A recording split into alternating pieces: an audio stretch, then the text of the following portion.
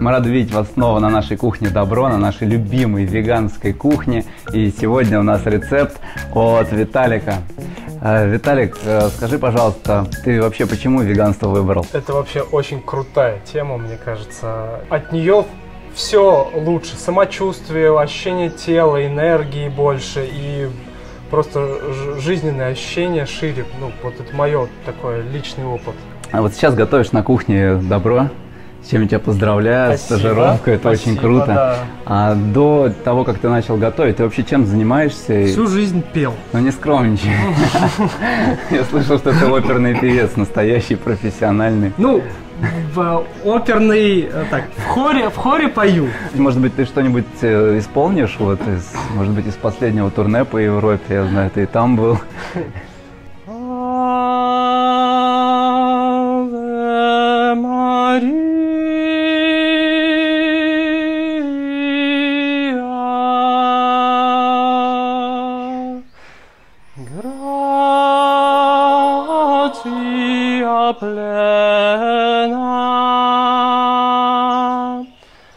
очень нравятся э, рецепты с тофу. Я вот э, как-то вот проникся вкусом. Он вроде простой, но его можно добавлять везде, с ним сочетать. э, Я тоже очень люблю, да. тофу. мгм. И главное, что есть же миф такой, что веганы и вегетарианцы недополучают белка, да, и вот тофу просто классный продукт для тех, кто активный образ ведет, там, Мгм. тренируется. Мне кажется, было бы интересное сочетание э, салат и какая-то такая панировка с тофу. О, класс! Когда ты сказал панировка, я вспомнил, что я же подготовился к твоему приходу. Так. Так, барабанная дробь, ты, ты готов? Та-дам! Класс! Видал такую штуку? Слушай, это как космический корабль, она прям выглядит вообще. Это мой друг и помощник R2D3. Смотри, еще здесь какая штука есть. Внимание. Круто! Смотри, какой он огромный. Сюда можно положить вот столько тофу. Много тофу положить, все запанировать. И, и потом хрустеть, хрустеть, Хрустеть, хрустеть. А как этого звали, который? Валли? Валли, да, похож, что это такое. Его можно использовать в приготовлении вообще всего. И сладкого, и соленого, и горячего, и криспи тофу мы приготовим тоже в нем. А вообще задумка такая, а, готовить запеченные блюда без масла. И они будут хрустящие с корочкой. У нас будет тофу, листья салата. Очень красиво это выглядит.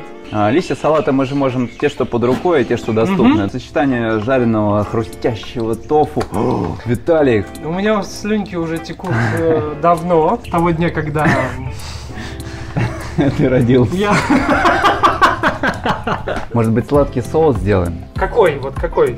Ну, вот смотри, мы как бы апельсины приготовили. Может быть, мы из Мгм. него что-нибудь. Апельсины, финики у нас есть. Мгм. Э, И чуть подострим его. Если хочешь, вот э, тимьян можем использовать. Ну, в общем, Мне очень нравится потом подкислим, сочетание. подострим, потом подкислим. Давай, давай, Да? давай, попробуем. Все, сейчас нарежем тофу. Кто будет резать тофу? Ты. Гречневая мука, Так, панировочные сухари и жареный кунжут. классно. Вот такая красота. Добавим еще немного соли, да? Наверное, Да. щепоточку я добавлю вот так. Мгм. Из гречневой муки мы сделаем жиденькое тесто. И второй вариант – масло с паприкой красненькой. Супер, О. давай. Так есть может тогда и два будет- салата сделаем разных. Давай. Раз у нас два тофу. Давай в один добавим тыкву как гарнир, она будет яркая, такая оранжевая, красивая. Давай. Запечем ее тоже мгм. А второй тогда, который вариант менее острый и соленый, сделаем э, с грушей. Давай.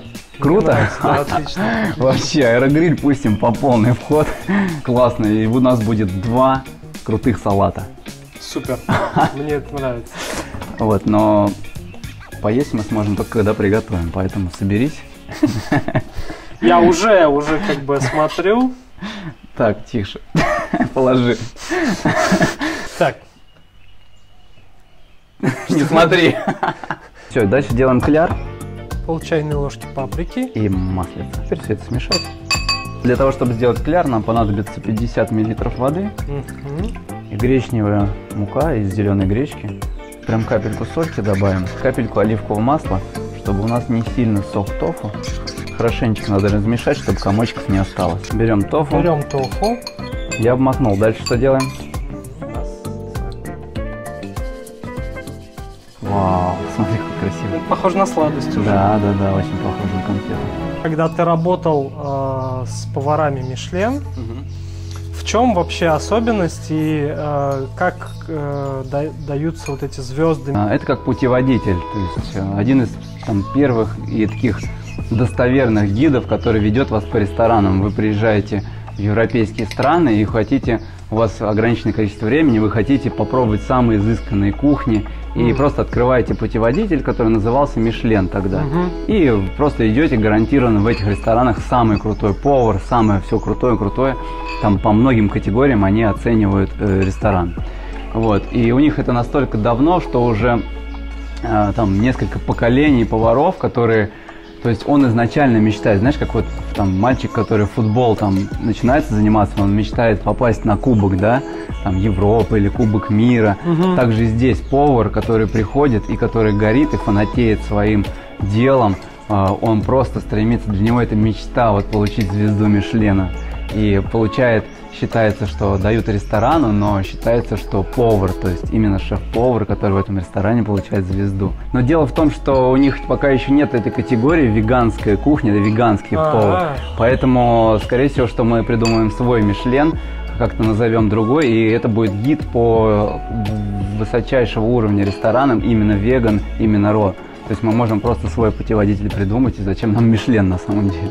Может, ты знаешь какие-то, ну, в чем особенности, Потому что, как извини- они дают звезду там, А например, Там повару? большой список, по которым они оценивают рестораны. Это в том числе и винные карты, и прочие, и блюда, которые не подходят для веганской кухни. Мгм, Поэтому мгм. мы им не подходим, а они нам, по большому счету.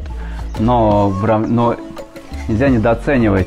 Это реально, это реально повара, которые фанатеют своим делом, которые с детства просто живут этим. Это просто вкладываются в свою душу, реально раскрываются. И Слушай, как здорово. да, Мишлен это Очень очень, интересно. интересно. Я хочу еще тоже впечатление свое сказать по поводу до- Добро Давай, кафе, да. кухни. Если э, помнишь, был мультик Рататуй, Да, да, да. вот, и там вот этот вот критик пришел, заказал Рататуй в конце. Ага. И вот он кусочек берет, кладет себе в рот, и у него такой тш, и он вспоминает, как ему мама готовила, Ага. там вот такой вот этот момент очень красивый. Мама готовила, и вот это наслаждение, вот какие-то такие краски возникают в голове, ты Да. просто вот наслаждаешься, и вот это чувствуется как еда, сделанная осознанными людьми, вот людьми, которые прям уделяют внимание вкусу. Вот мне кажется, было бы круто сделать свой Мишлен. Потому что мы этого Загадаем достойны. Да, да, да, да. Вот мне интересно, какой принцип работы у аэрогриля, а, как, что он делает. Ну, на самом деле, это та же печь, Мгм. только с циркуляцией воздуха. То есть, в принципе, можно использовать печь домашнюю. Но здесь классно, здесь циркуляция. То есть, там внутри стоит стенд нагревательный, и перед ним э, лопасти моторно-металлические. И они тянут воздух, и, и внутри вот так вот э, циркулирует воздух горячий, и блюдо быстро готовится. То есть температуры мы используем даже меньше. Допустим, если мы овощи готовили на 190 градусах, то в аэрогриле на 170 достаточно, потому что обдув, ну, чтобы не засушить. Но используем меньше температуру и меньше количество времени, кстати. Мгм. Смотри, как отлично у нас все вместилось. красиво, да. 170 и 11 минут. Все, у нас есть 11 минут для того, чтобы приготовить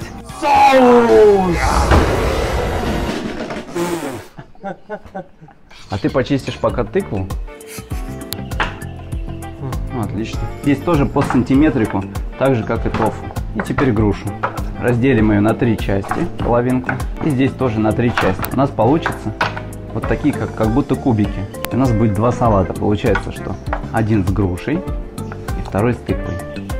Сначала положим тыкву, она чуть дольше готовится, чем груша. Она плотнее, да? Мгм. Ну, минут на 5 Давай, да. скажем так, 5 минут тыква, и потом еще 10 добавляем, и вместе с грушей все тушим. И градусов 170. Отлично. есть. Есть когда бы. Когда есть-то будем. Подготовим нашу зелень. В нашем случае это фрилис и рукола и романа. Мы разделим лист пополам и нижнюю часть отрежем.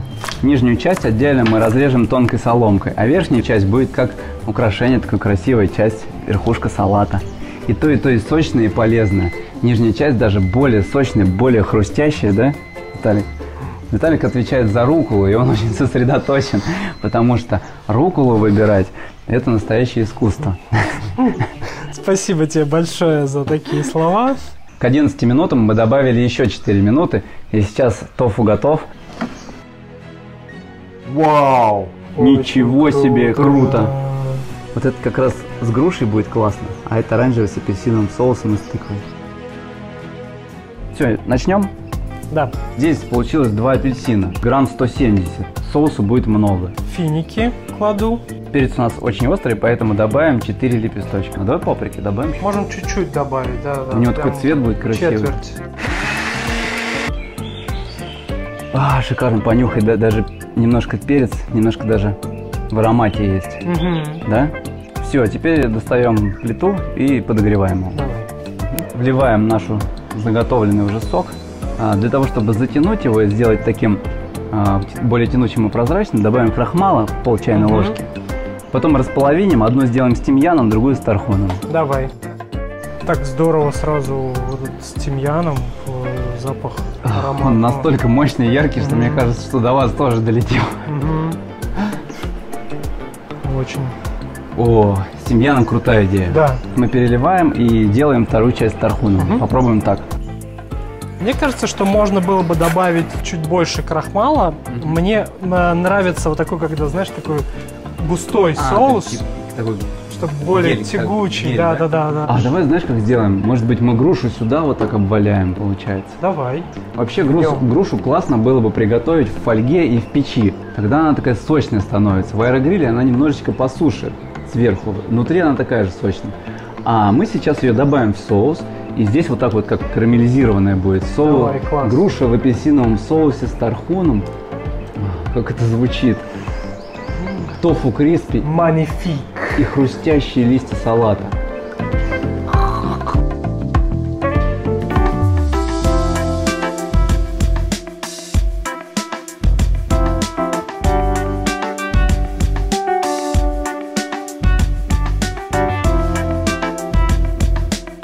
Шикарно, шикарно, шикарно.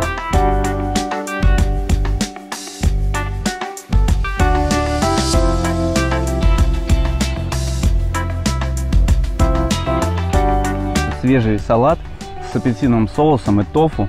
И сочетание с пеканом. Очень богатый вкус получился. Очень. А пекан сладость еще такой придает. Мгм. Торопиться нельзя, будем наслаждаться. Попробуем теперь. Давай, теперь грушу. О боже, что это? Это вообще другой вкус, да? Это, не- тоже вкусный, вообще, не по-другому, сравнить. Да. Слушайте, ну вот здесь вот груша, это просто бомба. Хотели один салат сделать, получилось два блюда. Реально, вот это вот потрясающе. Вот только ради груши. Мгм. Именно в апельсиновом соусе. Мгм. Орехов можно побольше, да, сюда? Мы прям что-то сэкономили, мне кажется.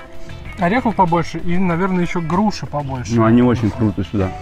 Салат, орехи, тут соус. Мне тофу. кажется, вот эта вот тема с грушей у нас получилась вообще М. замечательно. Ребята, это круто. Ты тратишь время как будто на один салат, а у тебя получается два блюда, да, вот так, если на стол готовишь Мгм. дома. Очень праздничный. Используйте этот рецепт. Главный ингредиент. Виталик. Будешь? Добро. Твой золотых рук. Золотой голос. А-а-а. Женя. А классно так готовить и танцевать там танго, причем, причем вдвоем, представляешь, там, раз там, «П- подай, пожалуйста, л- подай, пожалуйста, ложку, я такой, раз такой, возьми, Виталик. Уже можно есть? Мне не разрешают откусить тофу. Может, я его откушу все-таки? Три кусочка еще. Съедим? А, нет, так нечестно, ты на бок поставил.